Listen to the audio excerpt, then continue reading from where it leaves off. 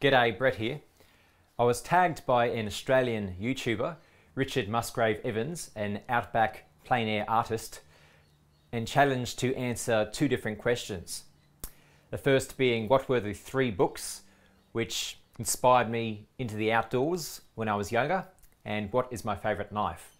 So I'm going to go a quick look through the three main books I purchased when I was young, which got me into the outdoors and got me excited about heading into the outback. So the first book, I probably purchased this when maybe I was eight or nine, was the SAS Survival Handbook by John Wiseman. So this is probably the earliest book I can remember purchasing regarding going camping and bushwalking and survival.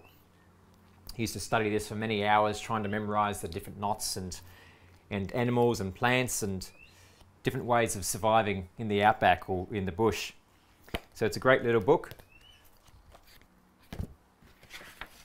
See, it goes through different essentials, climates and terrain, the food, campcraft, different mapping and navigational skills, as well as health and safety when out camping, hygiene, survival at sea, rescue, and preparing for disasters. So this had loads and loads of great content in it. I actually keep a little small compact book as well in my car when I'm traveling so I can take that if I'm doing a longer bushwalk and do find myself in trouble. I still have some of that information because I no longer remember most of it. I don't study survival like I used to. But when I was in my teens, I'd spend a lot of time with my friends taking out my bushcraft knives and making uh, bush bush string and different fire reflectors and beds and cutting up grass and making thatched roofs and whatever else. But there's all kinds of good information here. You got your plants, how to skin an animal, carrying it, different types of spears. So it's just a great little book that if you do go out a fair bit traveling, I'd recommend getting something like this just to familiarize yourself. You never know, you may actually remember it. I also have something similar on my phone, a app for survival, just in case I do have my phone with me when I'm out bushwalking. I still have some of that information with me before the battery goes flat. It's a great little book. The second book, which wasn't purchased too much too long after this, and as some of my longer term subscribers would know, one of my inspirations is Les Hiddens, the Bush Tucker Man. That's also where some of my film style comes from, as well as Malcolm Douglas. But Les Hiddens was probably the one who inspired me to purchase a Land Rover Defender. I think somewhere back in the late 80s, seeing that defend, seeing his Land Rover Perenti army truck head out into the bush, that just somehow registered in my mind. So when it came to time to purchasing a four-wheel drive, the Land Rover Defender was the only option I could think of. But this brings into Explore Wild Australia with the Bush Tucker Man by Les Hiddens. So this is a really great gem as well for getting background information on various places throughout Australia, as well as a whole heap of survival bush tucker foods, which again I've spent many hours studying the maps and just becoming aware of what's out there. So he covers it into different sections of Australia that he's been to. Various information about times of year, temperatures, what to expect. Background his historical information about some of the first early explorers and what they saw and came across. So with my other books as well, I also carry a smaller condensed version of similar information, just so I have options if I do find myself stranded somewhere because of roads are cut off due to rain, that I do have some information about bush tucker foods. Here's how to make a a raft out of a out of paper bark or bark from a tree. And in the middle section there, that was my favourite section.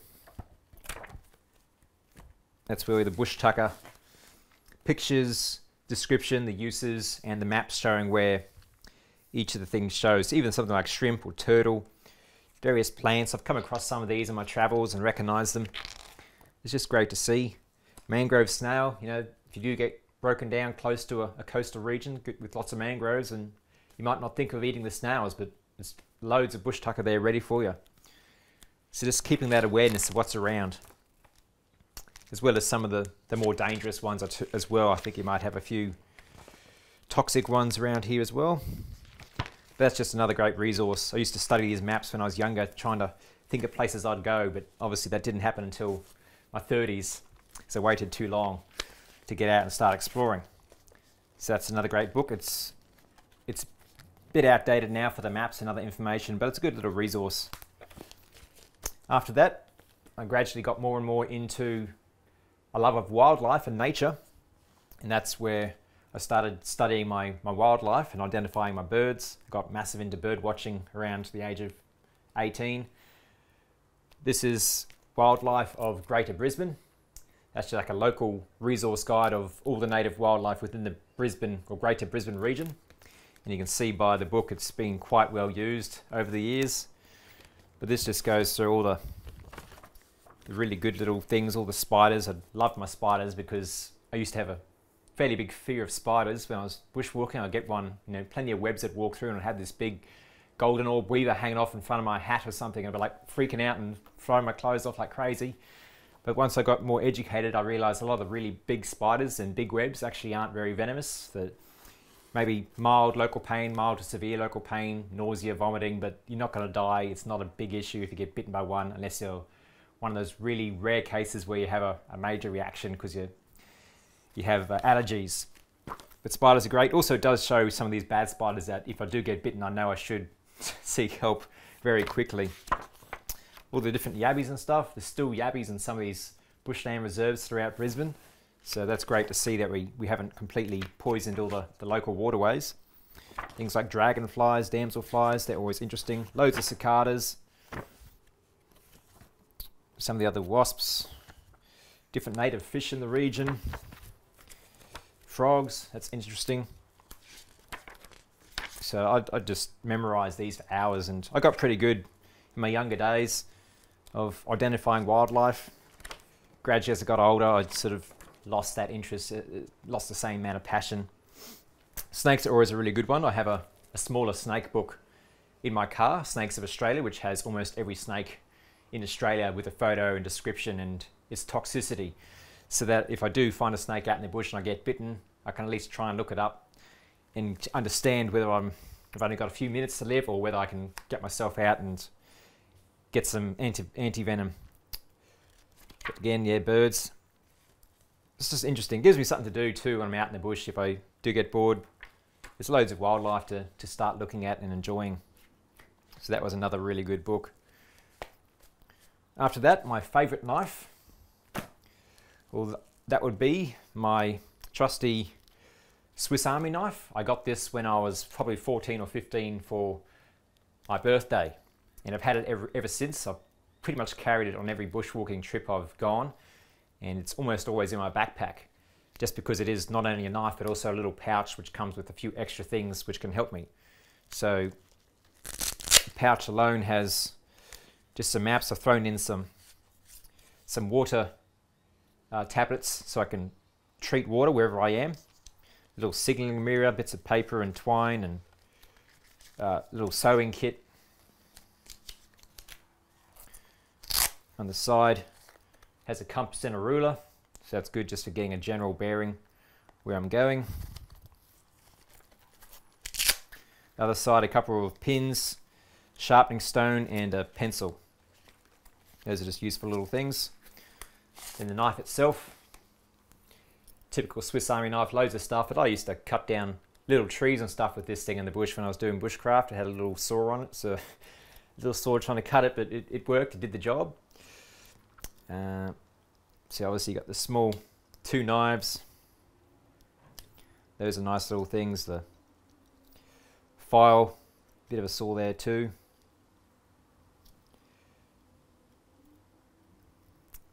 That's a bit of a fish scaler. Never used it for that. Scissors would always be really useful out in the bush for just cutting fingernails and other little threads and stuff off shirts even a little pair of pliers, which surprisingly actually used quite often when you get those really small nuts and bolts on little accessories or, or glasses. I'd use those. Then your typical screwdrivers and stuff, even a little magnifying glass. I used to use that to start fires and it actually does work. if you get a hot day, you get out there and get it just right. Very useful.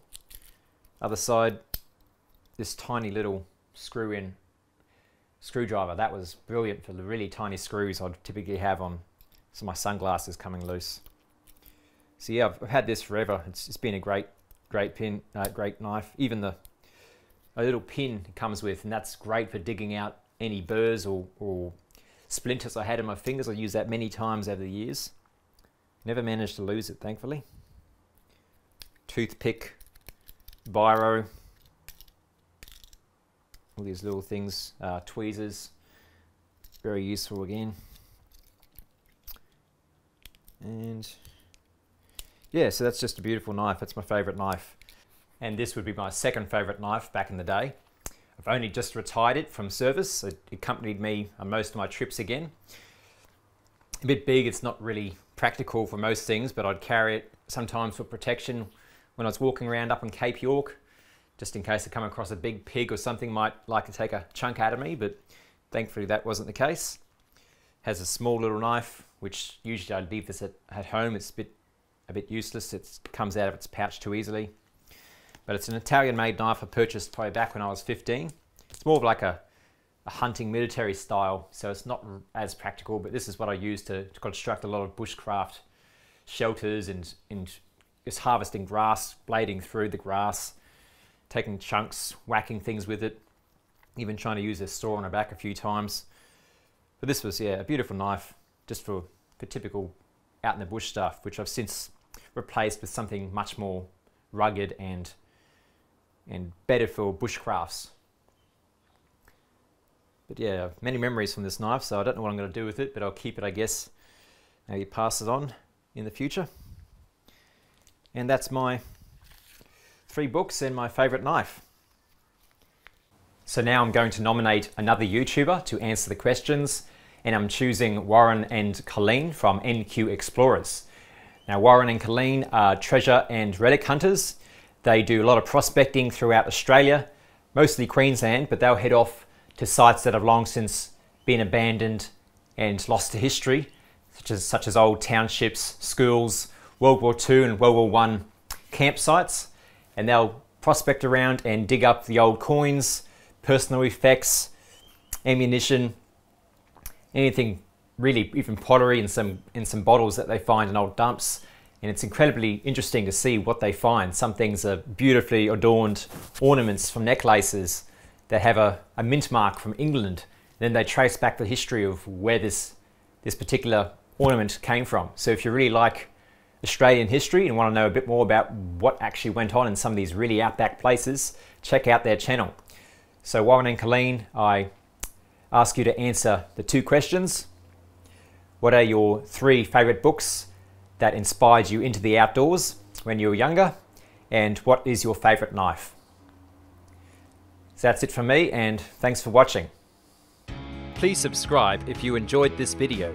Visit my website roamingtheoutback.com for Australian travel destinations, vehicle preparation ideas and gear reviews. If you'd like to help support the creation of new videos, please consider becoming a Patreon click on the Patreon button on the screen now. Thanks.